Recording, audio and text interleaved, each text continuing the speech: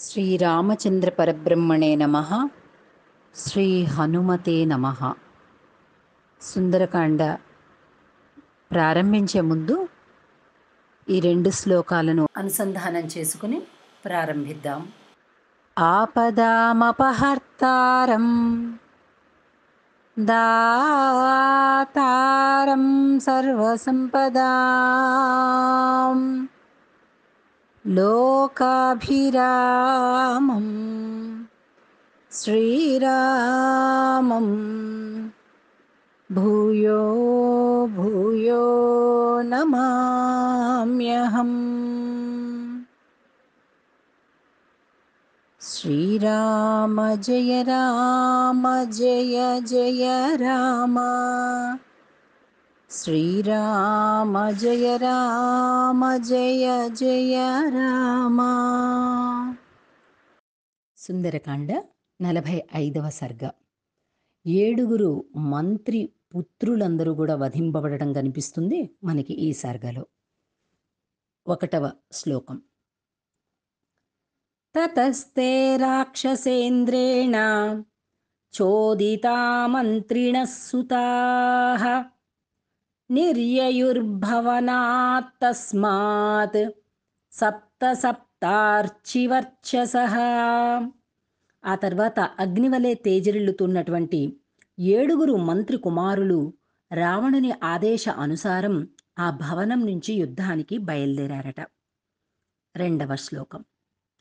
మహాబల పరివారా ధనుష్మంతో మహాబలాహ కృతాస్త్రాస్త్రవిదాం పరస్పర పరస్పరజయైషిణః వాళ్ళందరూ కూడా చాలా గొప్ప మహా బలశాలురు గొప్ప ధనుర్ధారులు అస్త్ర విద్యల్లో సుశిక్షితులు అస్త్రవేత్తలలో శ్రేష్ఠులు హనుమంతుని జయించుటకై ఒకరిని మించి ఒకరు నేనంటే నేను అని యుద్ధం చేయటానికి ఉబలాట పడుతున్నారు. వారి వెంట ఉండేటటువంటి సైనికులు కూడా మహా గొప్ప బల సంపన్నులు. మూడవ శ్లోకం. హేమజాల పరిక్షిప్తై ధ్వజవద్భిపతాకిభి తోయదస్వన నిర్ఘోషై వాజియుక్త్రైర్మహారథై అశ్వాలను పూంచినటువంటి వారి రథాలు బంగారు తెరలు కలిగినటువంటివి. ధ్వజ పతాకాలతోటి అలరారుతూ ఉన్నాయి. మేఘ గర్జన్ల వలె రణధ్వనులను చేస్తూ ఉన్నాయి. అలాంటి వారందరూ కూడా బయలుదేరారట హనుమంతుడి పైన యుద్ధం చేయడం కోసం. నాలుగవ శ్లోకం.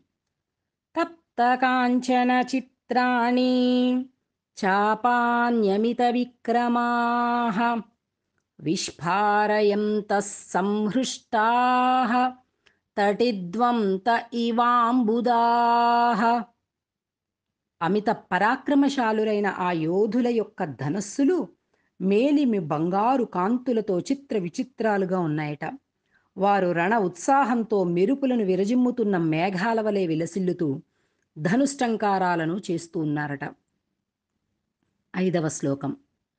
జనన్యస్తు తతస్తేషాం విదిత్వా కింకరాన్ హతాన్ బభూవు శోక సంభ్రాంతాః సబాంధవ సుహృజ్జనాః ఎనభై వేల మంది కింకర రాక్షసులు రణరంగంలో నిహతులైపోయినటువంటి వార్తను తెలుసుకుని వారి తల్లులు బంధువులు మిత్రులు అందరూ కూడా శోక సంభ్రాంత చిత్తులైపోయారట. ఆరవ శ్లోకం.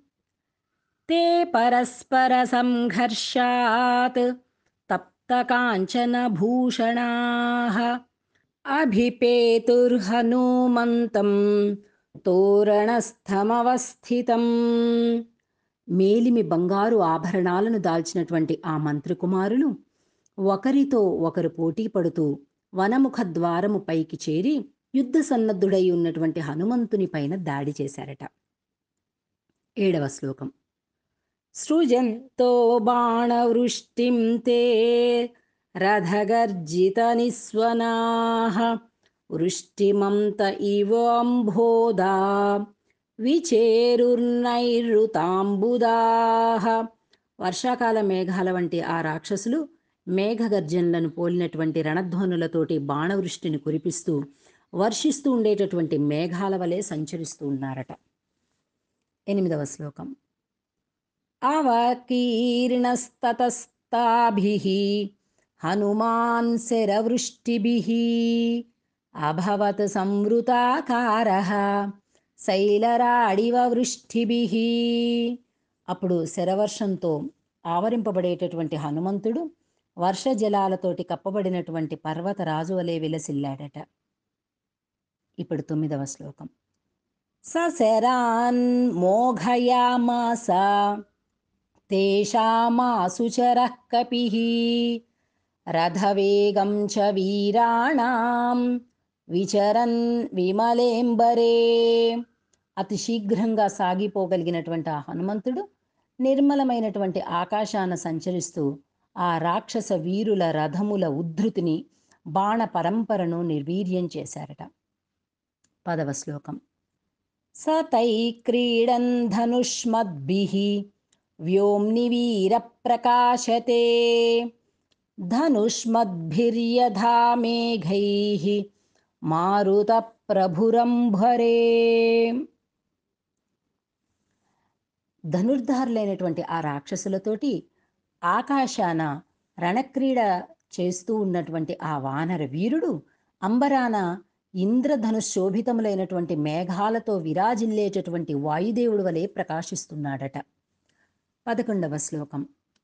సకృత్వా నినదం ఘోరం త్రాసయం స్తాం మహాచమూం చకార హనుమాన్ వేగం తేషు రక్షస్సు వీర్యవాన్. సాటిలేని వీరుడైన హనుమంతుడు ఆ మహాసైన్యానికి వణుకు పుట్టిస్తూ భయంకరంగా గర్జించాడట. ఆ తర్వాత అతడు ఆ రాక్షస యోధులను హతమార్చుటకు విజృంభించాడట పన్నెండవ శ్లోకం. తలేనాభ్యహనత్ కాంశ్చిత్ పాదై కాంశ్చిత్ పరం తప ముష్టినాభ్యహనత్ కాంశ్చిత్ నఖై కాంశ్చిద్వ్యదారయత్ శత్రు సంహారకుడైనటువంటి హనుమంతుడు వారిలో కొంతమందిని అరచేతితో చావకొట్టాడట కాళ్ళతో తంతు కొందరిని ముష్టిఘాతాలతో మరికొందరిని మట్టి గరిపించేశాడట. కొందరిని గోళ్ళతో చీల్చి చెండాడాడట. పదమూడవ శ్లోకం. ప్రమమాధోరసాకాంశ్చిత్ ఊరుభ్యామపరాన్ కపి కేచిత్ తస్య నినాదేన తత్రైవ పతితా భువి. ఇంకా తన వక్షస్థలంతో కొందరిని తొడల తాకిడితోటి కొంతమందిని నుగ్గు నుగ్గు చేశాడట. కొందరు ఆ మారుతి యొక్క గర్జనలకే నేలకూలిపోయారట. పద్నాలుగవ శ్లోకం. తతస్తేష్వసన్నేషు భూమౌ నిపతితేషు చ. తత్సైన్యమగమత్సర్వం దిశో దశభయార్దితం ఇలా రాక్షస యోధులందరినీ రణభూమికి బలి కాగా హతశేషులైనటువంటి సైనికులు భయకంపితులై అన్ని దిశలకు కూడా పారిపోతున్నారట. పదిహేనవ శ్లోకం. వినేదుర్విస్వరం నాగా నిపేతుర్భువివాజిన భగ్ననీడధ్వజశత్రై భూశ్చకీర్ణాభవద్రదై ఏనుగులు ప్రాణాలను బట్టి వికృత ధ్వనులను చేస్తున్నాయట. ఆ ఉగ్గబట్టి ఆ ప్రాణాలన్నింటినీ గుర్రాలు నేల కొరిగాయట. రథాలపైన కప్పులు ధ్వజములు ఛత్రములు ముక్కల ముక్కలై రణభూమి అందంతా కూడా చిల్లా చెదురుగా పడిపోయాయట. పదహారవ శ్లోకం. స్రవతారుధిరేణాధ స్రవంత్యోదర్శితాః వివిధైశ్చ స్వనైర్లంకా ననాద వికృతం తదా. సమరభూమి అందంతా కూడా శత్రు సైన్యాల రక్తము కాలవలుగా గట్టాయట. లంక అంతా వివిధములైన వికారమైనటువంటి ధ్వనులతోటి మారుమోగిపోతుందట. ఈ సర్గలో చివరి శ్లోకం పదిహేడవ శ్లోకం. స తాన్ ప్రవృద్ధాన్ వినిహత్య రాక్షసాన్. మహాబలశ్చండ పరాక్రమ కపిః యుయుత్సురన్యై పునరేవ రాక్షసైః. తదేవ వీరోభిజగామతోరణం. మహాబల సంపన్నుడు చండ పరాక్రమశాలి అయినటువంటి హనుమంతుడు మహాయోధులైన రాక్షసులందరినీ పరిమార్చి ఇంకా ఇతర రాక్షస వీరులతో యుద్ధము చేయగోరి మళ్ళా అదే ముఖద్వారము పైకి చేరి శత్రువీరుల రాకక ఎదురు చూస్తూ ఉన్నాడట. ఇత్యార్షే శ్రీమద్ రామాయణే వాల్మీకీయే ఆదికావ్యే సుందరకాండే పంచచత్వరింశ సర్గ సమాప్త.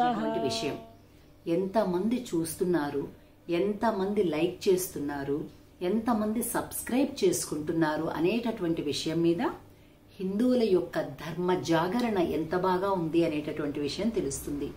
కనుక శ్రీ సేవా ఫౌండేషన్ అనేటటువంటి ఈ మంచి మంచి విషయాలను తెలుసుకుంటూ దీన్ని ఆదరిస్తారని ఆశిస్తూ మీ కోకిల మంజుల శ్రీ. జై శ్రీకృష్ణ.